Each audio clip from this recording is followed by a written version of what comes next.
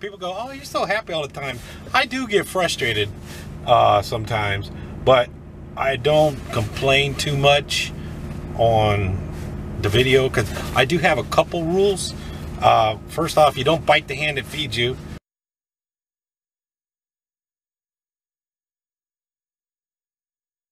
All right, good morning, late morning. Uh, it's about 10 o'clock in Illinois. Um, we're at a Love's truck stop. We're waiting. We still got about another 30 minutes before. Oh, here, I'll show you where the Love's. We got about another 30 minutes before we'll take off and head up to uh, St. Louis. Uh, we're about 45 minutes away. Uh, we loaded on Friday, we loaded some steel conduit.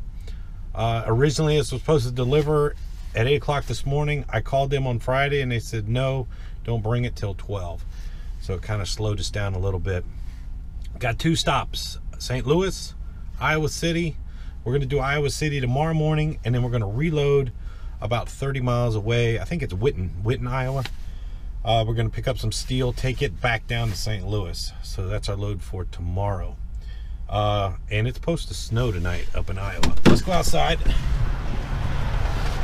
So, oh, we can, uh, so there's the fuel aisle right there for the Love's. Pan around slowly. And that's I-64 right there. And we're parked in the parking spot here. Let's go, uh, let's go over this side over here. It's a little quieter.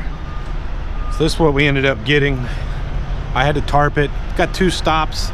Uh, there's four stacks. So the back two stacks and half of this stack right here deliver in St. Louis. And then the rest of it uh, will go to uh, Iowa City.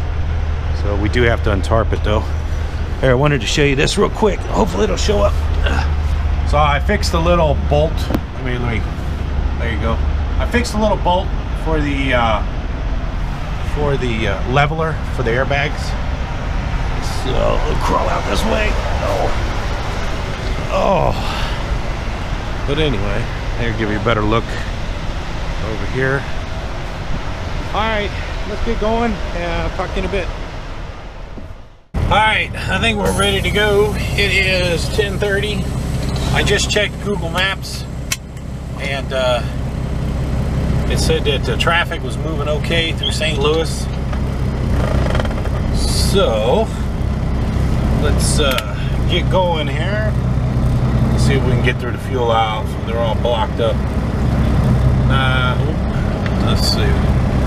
Might have to spin all the way around. Let's see here. Let's see, that one's blocked up, that one's blocked up. Is that one moving? Let's see here, hang on a second. Alright, we're gonna have to, well, let's see what this guy. Alright, we got to go around. All of the uh, fuel aisles are locked up, we can't get through. So, I got the air dumped out of the rear axle. Um, I got a lot of comments about uh, my poor man's lift axle. Uh, got a lot of comments about why didn't I just lift the rear axle? Well, the rear axle has the leveling valve on it to control the height of the airbags. And if you lift the rear axle up off the ground, the leveling valve uh, doesn't work properly. When I dump the air out of the air out of the rear airbags, it automatically isolates the air into the front airbags. Um, but you can't drive around like that. It's made to go around corners and doing sharp turns and stuff like that. So it doesn't readjust the height of the airbags when the rear axle is dumped. Alright, this is going to be a little harder than I thought to get out of here. It's not going easy. A lot of these little Love's and pilot truck stops like this are always kind of a mess. I stopped here because this was the closest truck stop to St. Louis on I-64. Here yesterday about eh, about four o'clock. I spent all weekend down in uh, Louisville, plugged in to the electricity, so I didn't have to run my little generator.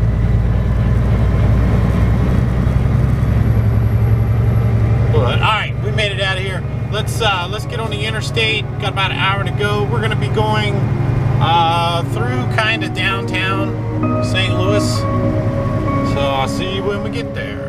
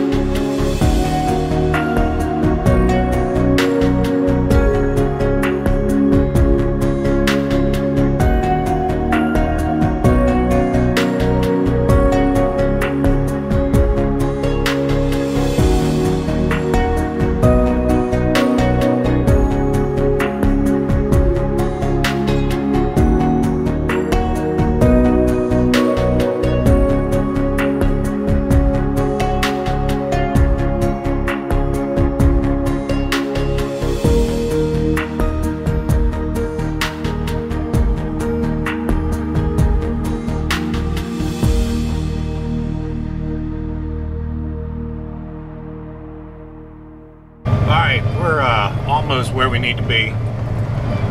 This uh, this place is, I want to say, almost downtown St. Louis.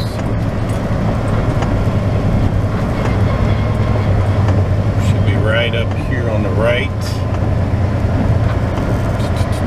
Google Maps looks like.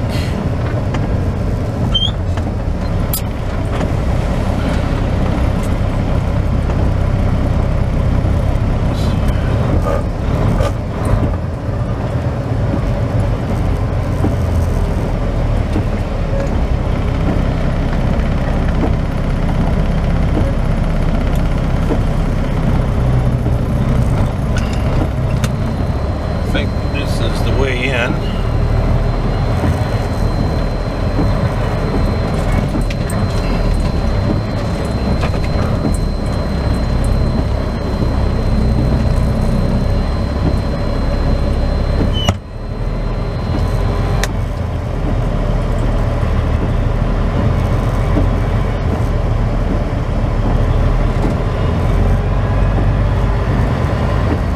Your Uh, destination is on the right. I don't know what I'm getting into here.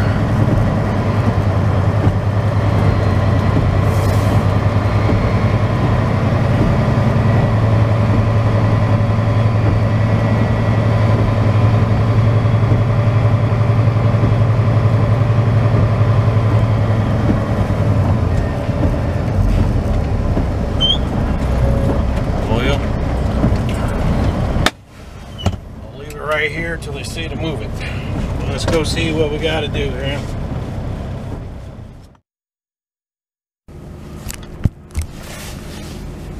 All right, it's the end of the day. I was going to go outside and show you guys what's going on, or what we have left.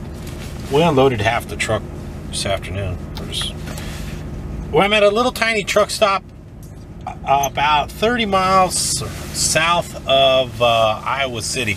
Hang on, I'll spin you around. And uh, I think they got a nice big lot. There it goes. Nice big dirt lot. I found this place on uh, Trucker Path. Um, we're about 30 miles from where we got to go in Iowa City for tomorrow. Uh, let's see. I don't have much footage for today. It rained most of the day, so uh, I was gonna film um, unloading, but it was nasty rainy. My gloves are all wet. My coveralls are all wet, so I'm gonna hang them up in the truck, let them dry tonight. Ah, uh, see what else. I was gonna go outside, but this little camera, I don't know what's going on. The uh, this is my uh, GoPro setup. The uh, it's locked up, so I gotta take the battery out of it get it going.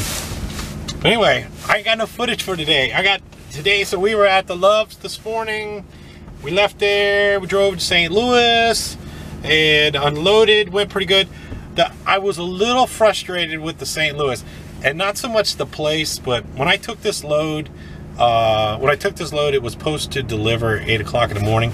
At least that's what it said in the computer. When I called the customer on Friday, even before I got loaded, he said, oh no, we don't receive till 12 o'clock. And I was like, really? So anyway, it kind of frustrated me a little bit. So it wasn't really the customer's fault because when I got there, they got a big sign in the warehouse that says receiving hours 12 to 3.30. So uh, it was just wasn't something they just made up. But I had called the agent. I told them, and they said, "Oh, we didn't know." So how come I found out and you couldn't? But anyway, that's just me. People go, "Oh, you're so happy all the time." I do get frustrated uh, sometimes, but I don't complain too much on the video because I do have a couple rules. Uh, first off, you don't bite the hand that feeds you. So I don't badmouth Mercer too much, but they don't make me mad very often. But uh, there are situations where I get frustrated. But it's like anything. I mean, there are so many people involved in doing what we do. Information has to pass through so many people that it gets messed up. And unfortunately, I'm at the bottom of the hill and it just keeps rolling downhill till it hits me.